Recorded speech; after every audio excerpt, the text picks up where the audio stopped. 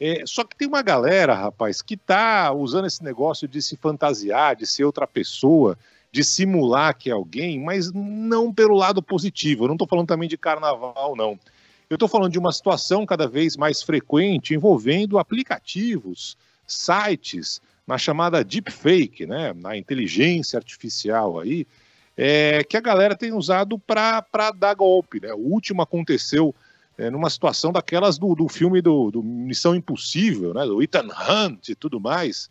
Por quê? Porque os caras estão usando é, sons exatamente iguais aos sons é, da voz de pessoas que você conhece. Né? Tivemos agora há pouco em New Hampshire a eleição aqui democrata nos Estados Unidos, as primárias americanas, e o pessoal começou a atender o telefone e era o Joe Biden falando para não ir votar. Simplesmente isso. Só que eram os adversários do Biden que criaram ali de uma forma artificial a voz exatamente igual do Biden, que mandava uma mensagem automática para os moradores de New Hampshire, dizendo não votem hoje. Né? Mas como assim? O Biden está falando para não votar, eu ia sair daqui de casa agora para votar nele. É, como não é para votar? Né? E era um golpe, né? Era um golpe. Isso tem preocupado demais as autoridades eleitorais aqui nos Estados Unidos o que pode vir pela frente. E esse golpe que eu estou falando aconteceu é, numa multinacional em Hong Kong.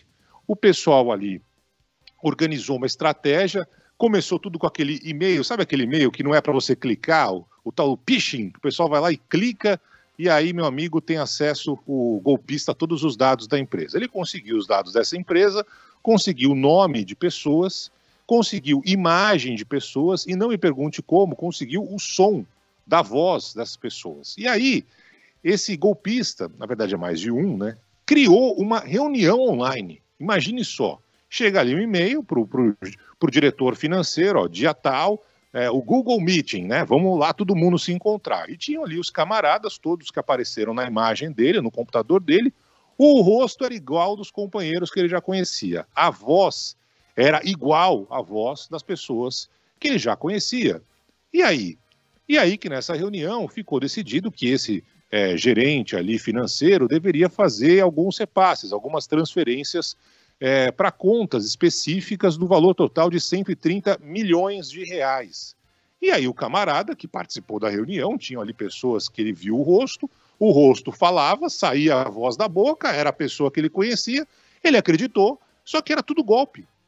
A, a, as pessoas que estavam ali participando estavam utilizando imagens da, da, da internet, as imagens dessa deepfake, inteligência artificial, simulando o rosto e a voz. E o camarada acabou caindo no golpe, 130 milhões de reais, foram 15 transferências para contas diferentes e simplesmente um abraço. Aí ele ligou, ele achou um pouco estranho, ligou para a sede da multinacional, até que identificaram ali, depois dessa consulta, que é, as pessoas não tinham participado da reunião.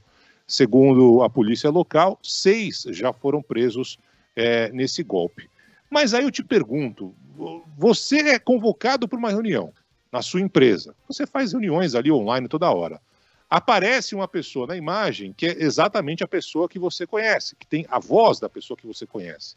Como é que você vai saber que não é a pessoa que está ali participando da reunião?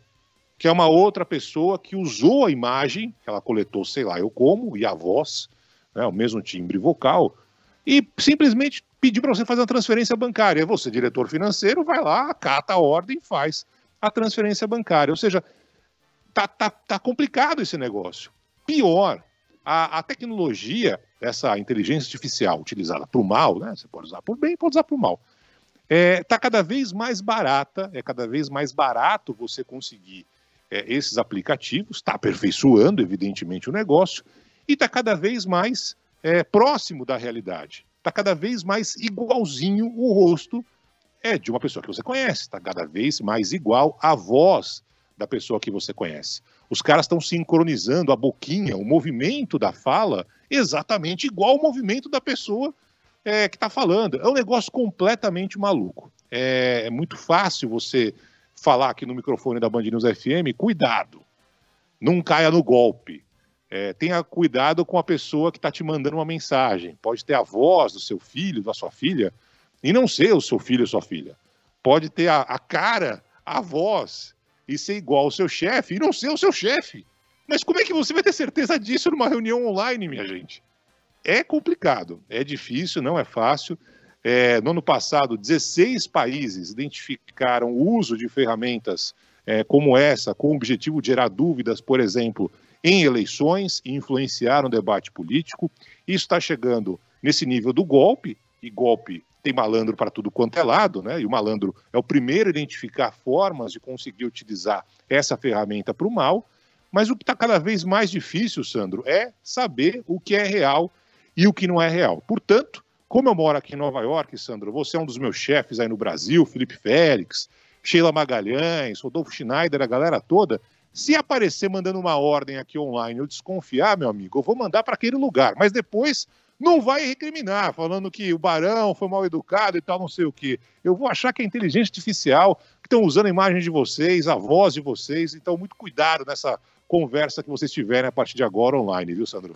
Eu agora tô na dúvida se é você mesmo, viu, Barão? Se não é um, uma inteligência artificial que tá fazendo. Só para dar um exemplo pro nosso ouvinte, esse aqui é, é, um pouco mais antigo, é de 2021 e isso é assustador. É, depois eu falo quem é, muita gente vai reconhecer essa voz. I am not Morgan Freeman, and what you see is not real. Well, at least in contemporary terms it is not. Bom, se você vê essa imagem, é a imagem do Morgan Freeman, a voz irreconhecível dele não é ele, é justamente o que você estava falando, é uma construção de inteligência artificial. Se eu escuto uma voz dessa dando um recado, eu vou falar, não, é o Morgan Freeman que tá falando alguma coisa, participando de um filme, enfim, é É o fim a... do mundo, né? No, é normalmente o Morgan Freeman, ah, ele anuncia o fim do mundo, Morgan Freeman, não é sempre o presidente ali falando que o pior tá chegando, é quase isso, né, Sandro? Pois é, esse não é o Morgan Freeman, é uma inteligência artificial que passa tranquilamente por ele, é assustador.